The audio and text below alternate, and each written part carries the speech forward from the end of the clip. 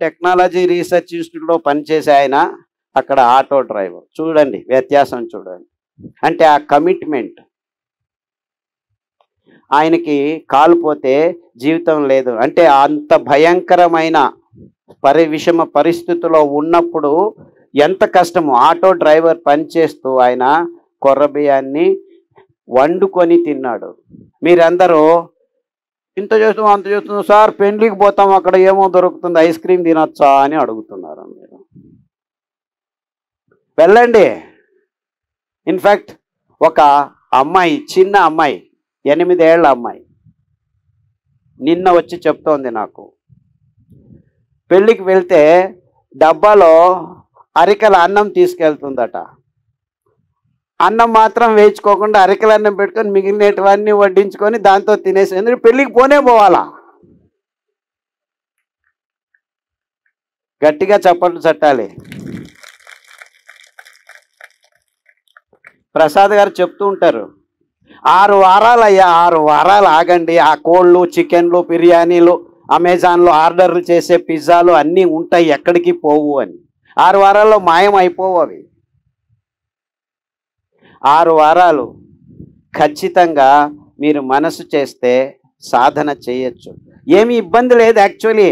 మూడు నాలుగు ఐదు రోజుల్లోనే మీకు దీని రుచి తెలుస్తుంది. మిమ్మల్ని ఏమీ పోగొట్టుకోండి అని చెప్పట్లేదు. జస్ట్ ఈ ఐదు ధాన్యాల్ని మీ వంటగదిలోకి తీసుకురండి అన్నాము.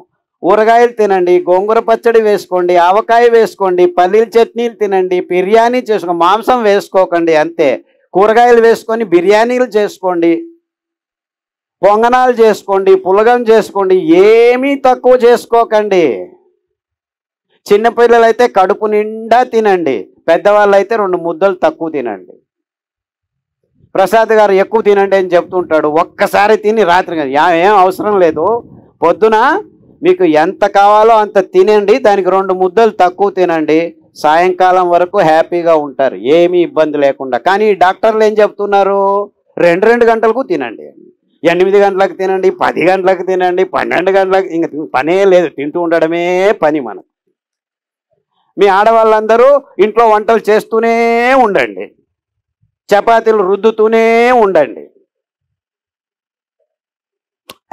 ఏమిటి ఆడవాళ్ళు ఇలా పని చేస్తుంటారు?